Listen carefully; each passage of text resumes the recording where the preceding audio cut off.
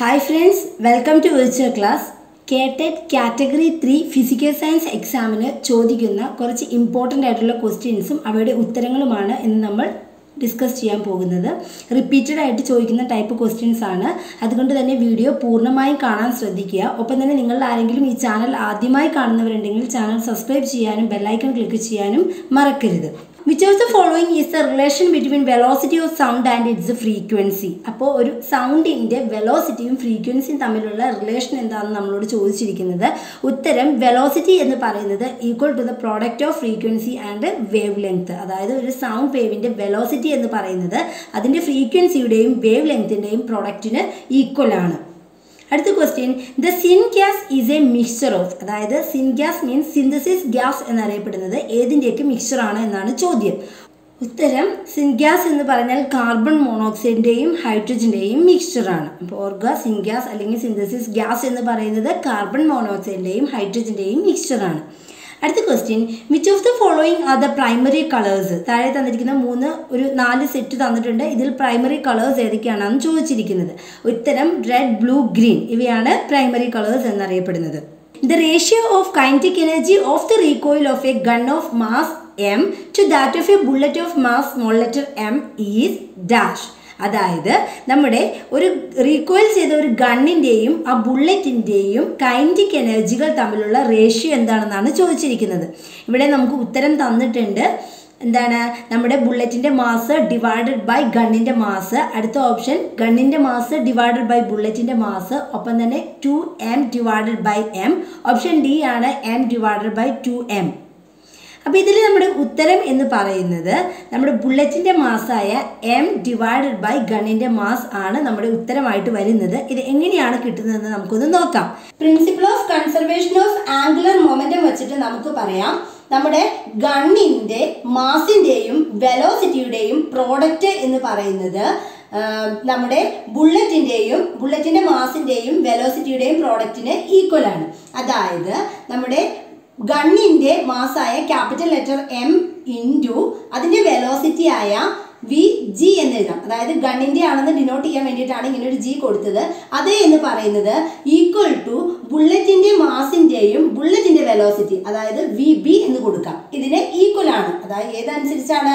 Principle of conservation of angular momentum അനുസരിച്ച് നമുക്ക് ഇങ്ങനെ എഴുതാനായിട്ട് സാധിക്കും. ഇതിൽ നിന്ന് നമ്മുടെ ഗണ്ണിന്റെ വെലോസിറ്റി എന്ന് പറയുന്നത് അതായത് ഗണ്ണിന്റെ വെലോസിറ്റി ഇവിടെ ഏതാണ്? വി ജി ആണ്. ആ വി ജി എന്ന് പറയുന്നത് ഈക്വൽ ടു അപ്പോൾ എന്തെന്ന് വരും? എം ഇന്റു വി ബി അതായത് ബുള്ളറ്റിന്റെ മാസ് ഇന്റു ബുള്ളറ്റിന്റെ വെലോസിറ്റി ഡിവൈഡഡ് ബൈ ഈ എം ഇവിടെ വരും. അതായത് ഗണ്ണിന്റെ ഡിവൈഡഡ് ബൈ ഗണ്ണിന്റെ മാസ് എന്ന് കിട്ടും.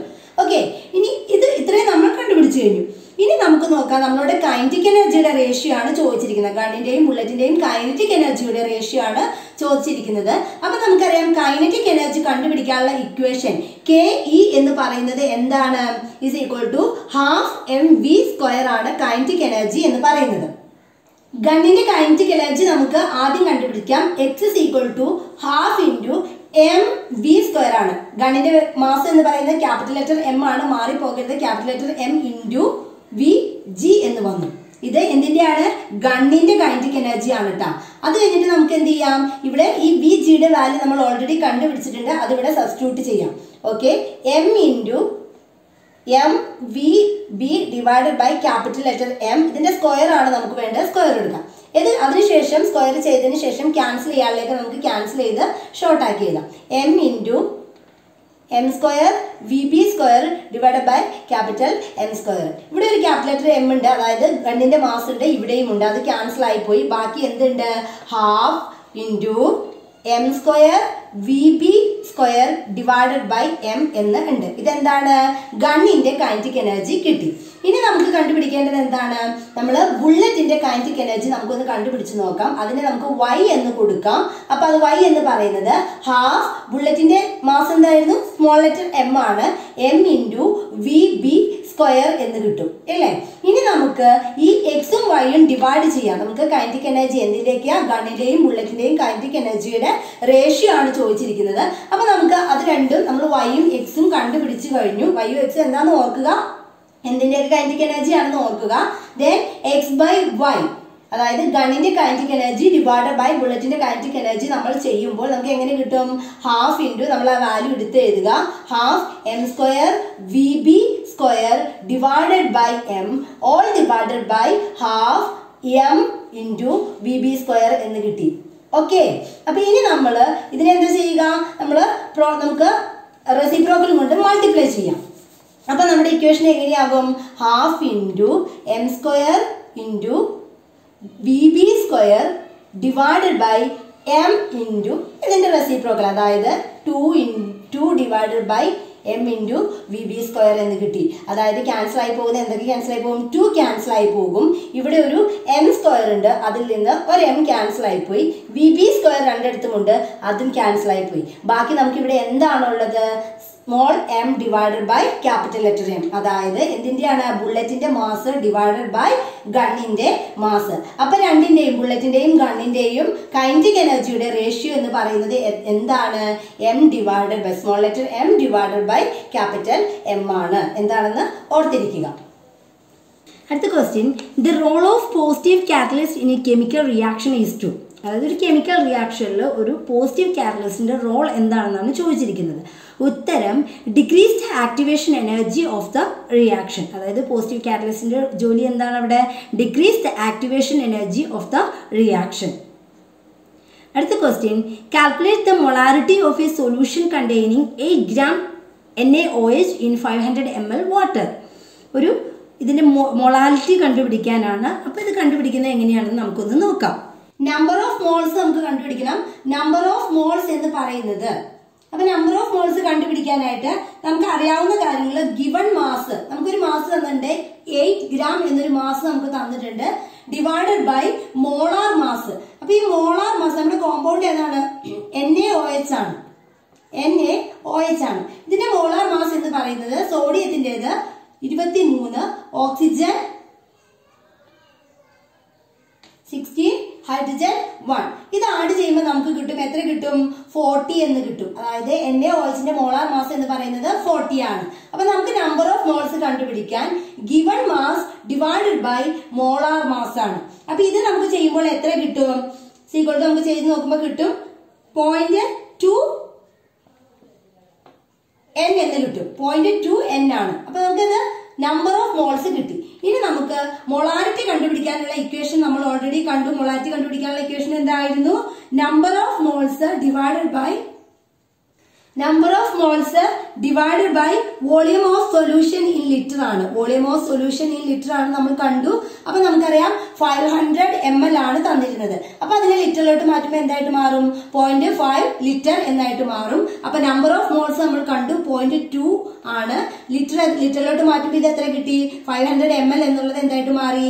പോയിന്റ് ഫൈവ് ലിറ്റർ ആയിട്ട് മാറി. അപ്പൊ ഇത് നമുക്ക് ചെയ്ത് കഴിയുമ്പോൾ നമുക്ക് കിട്ടുന്നത് പോയിന്റ് ഫോർ ആണ് ഇത് മോൾ പെർ ലിറ്റർ ഇത്രയുമാണ് നമ്മുടെ എന്തിന്റെ നോർമാലിറ്റി എന്ന് പറയുന്നത്? മൊളാരിറ്റി എന്ന് പറയുന്നത്?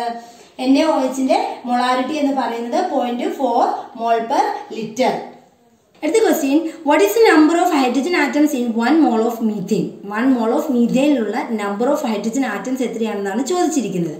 ഉത്തരം four into six point zero two two into ten raise to twenty three എന്നതാണ്. എങ്ങനെയാണ് കണ്ടുപിടിക്കുന്നത്? നമുക്ക് നോക്കാം.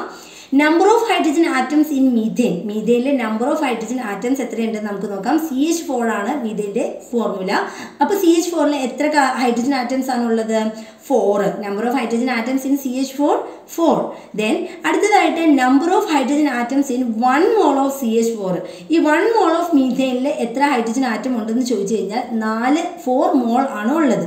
നമുക്കറിയാം വൺ മോൾ എന്ന് പറയുന്നത് equal to six point zero two two into ten raise to twenty three ആണ്. അപ്പോൾ ഫോർ മോൾ എന്ന് പറയുന്നത് എത്രയാണ്?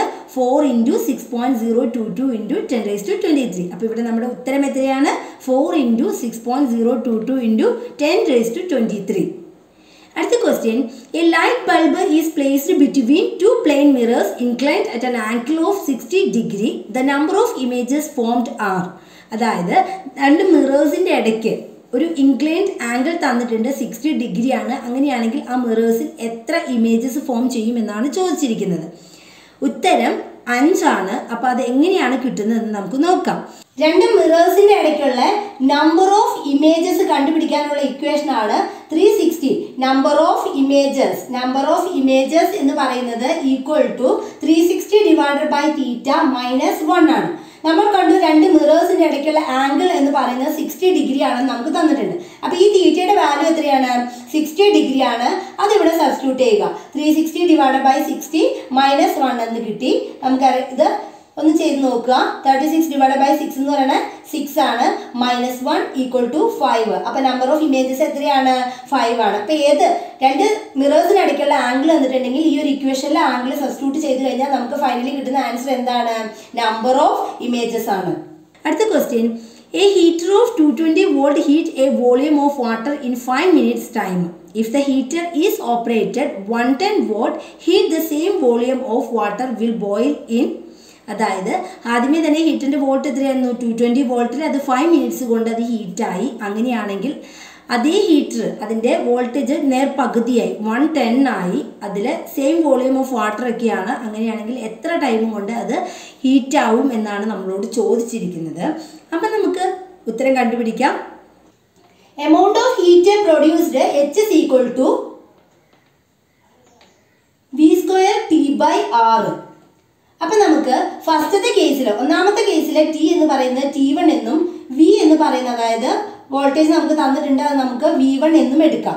അപ്പൊ ഇനി രണ്ടാമത്തെ കേസിൽ പ്രൊഡ്യൂസ് ചെയ്യുന്ന ഹീറ്റ് എന്ന് പറയുന്നത് V two square T two divided by R ആണ്. ഇപ്പൊ നമുക്ക് ഹീറ്റ് ഈക്വൽ ആണ്. അപ്പൊ നമുക്ക് എന്ത് ചെയ്യാം? ഇവയെ ഇക്വേറ്റ് ചെയ്യുമ്പോൾ എന്തെന്ന് വരും? V one square T one divided by R equal to V two square T two divided by R ആണ്.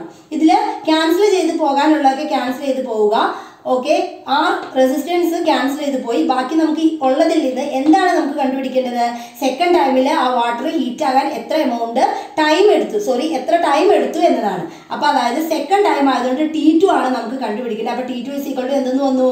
V one square T one divided by V two square എന്ന് കിട്ടി. അതായത് ആദ്യത്തെ ഇത് എത്രയായിരുന്നു? Two twenty into two twenty into T one എന്ന് പറയുന്നത് എത്രയായിരുന്നു? ഫൈവ് മിനിറ്റ് ആയിരുന്നു. അപ്പോൾ നമുക്ക് സെക്കൻഡിലാണ് വേണ്ടത്. എങ്കിൽ നമ്മൾ എന്ത് ചെയ്യുക? നമ്മുടെ ആൻസർ നമുക്ക് നോക്കുക. ഓപ്ഷനിൽ നമുക്കിവിടെ സെക്കൻഡ് ആയിട്ട് സെക്കൻഡ്സ് ആയിട്ടാണ് തന്നിരിക്കുന്നത്. അതുകൊണ്ട് തന്നെ എന്ത് ചെയ്യുക? മിനിറ്റിനെ സെക്കൻഡിലോട്ട് കൺവേർട്ട് ചെയ്ത് വേണം ചെയ്യാൻ. അതല്ല മറിച്ച് നമുക്ക് മിനിറ്റിലാണ് ആൻസർ തന്നിരിക്കുന്നതെങ്കിൽ നമ്മൾ എന്ത് ചെയ്ത് വെച്ചാൽ മതി? മിനിറ്റ് തന്നെയായിട്ട് നമുക്ക് കാൽക്കുലേറ്റ് ചെയ്യാം. ഫൈവ് മിനിറ്റ് ആണ്. അപ്പോൾ അതിനെ സെക്കൻഡിലേക്ക് മാറ്റുമ്പോൾ ഫൈവ് ഇന്റു സിക്സ്റ്റി എന്ന് വന്നു. ദെൻ ഡിവൈഡഡ് ബൈ രണ്ടാമത്തെ ഇത് എത്രയായിരുന്നു? വൺ ടെൻ ആയിരുന്നു. One ten into one ten cancel ചെയ്യാനുള്ളതൊക്കെ cancel ചെയ്യുക. കാൽക്കുലേറ്റ് ചെയ്യുമ്പോൾ നമുക്ക് കിട്ടുന്ന ആൻസർ ഇതാണ് ആയിരത്തി ഇരുന്നൂറ് സെക്കൻഡ്സ് ഇത്രയുമാണ് രണ്ടാമത്തെ ടൈമിൽ നമുക്ക് ആ വാട്ടർ ഹീറ്റായി കിട്ടാൻ എടുക്കുന്ന ടൈം എന്ന് പറഞ്ഞത് ആയിരത്തി ഇരുന്നൂറ് സെക്കൻഡാണ് ഓർക്കുക ഓപ്ഷൻ മിനിറ്റിലാണ് എങ്കിൽ ഇവിടുത്തെ മിനിറ്റ് നമ്മൾ സെക്കൻഡിലോട്ട് കൺവേർട്ട് ചെയ്യേണ്ട കാര്യമില്ല. മിനിറ്റിൽ തന്നെ ഇട്ട് ചെയ്യുക. നമുക്ക് കിട്ടുന്ന ആൻസർ ഇതാണ്. അടുത്ത question cooking at high altitude without pressure cooker takes more time this is because അതായത് നമ്മൾ ഒരു ഉയരത്തിലേക്ക് പോകുന്നവരും അവിടെ പ്രഷർ കുക്കർ ഇല്ലാണ്ട് നമ്മൾ ഫുഡ് പ്രിപ്പയർ ചെയ്യുമ്പോൾ കൂടുതൽ ടൈം എടുക്കുന്നു. എന്തായിരിക്കാം ഇതിന് കാരണം എന്നാണ് ചോദിച്ചിരിക്കുന്നത്. ഉത്തരം with decrease in pressure boiling point of water decreases അതായത് മുകളിലേക്ക് പോകുന്നവരും അറ്റ്മോസ്ഫറിക് പ്രഷർ കുറയുകയാണ്. അറ്റ്മോസ്ഫറിക് പ്രഷർ കുറയുന്ന അനുസരിച്ച് എന്ത് സംഭവിക്കുന്നു? വാട്ടറിന്റെ ബോയിലിംഗ് പോയിന്റ് ഡിക്രീസ് ചെയ്യുന്നു. അതുകൊണ്ടാണ് പ്രഷർ കുക്കർ ഇല്ലാണ്ട് ഹൈ ആൾട്ടിറ്റ്യൂഡ്സിൽ നമുക്ക് ഫുഡ് കുക്ക് ചെയ്യാനായിട്ട് ഒത്തിരി ടൈം ആവശ്യമായിട്ട് വരുന്നത്. KTET category three physical science physical science എക്സാമിന് ചോദിക്കുന്ന കോമൺ ആയിട്ട് എപ്പോഴും ചോദിച്ച് കാണുന്ന കുറച്ച് ക്വസ്റ്റ്യൻസ് ആണ് നമ്മൾ ഡിസ്കസ് ചെയ്തത്. അപ്പോൾ ഇതുപോലെ മറ്റൊരു സെറ്റ് ഓഫ് ക്വസ്റ്റ്യൻസുമായിട്ട് നമുക്ക് അടുത്ത വീഡിയോയിൽ കാണാം. അപ്പോൾ നിങ്ങൾ ചാനൽ സബ്സ്ക്രൈബ് ചെയ്യാത്തവരാണെങ്കിൽ ചാനൽ സബ്സ്ക്രൈബ് ചെയ്യാനും ബെല്ലൈക്കൺ ക്ലിക്ക് ചെയ്യാനും മറക്കരുത്. താങ്ക്